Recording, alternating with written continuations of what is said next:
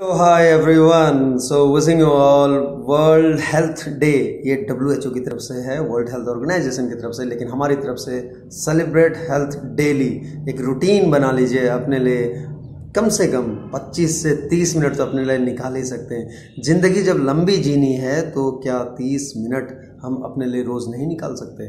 निकालने होंगे क्योंकि हमारा शरीर, हमारा जो शरीर है, वो हेल्थ माँगता है। So wish you all happy health day